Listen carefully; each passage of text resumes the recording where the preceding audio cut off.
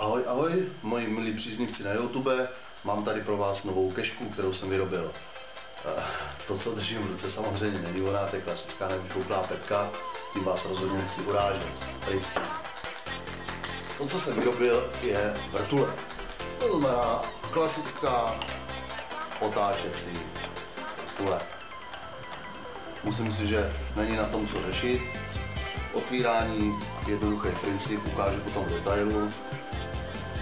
To nastavím, ať to dobře vidět. Otevřu kolečka, lupu, zavřu.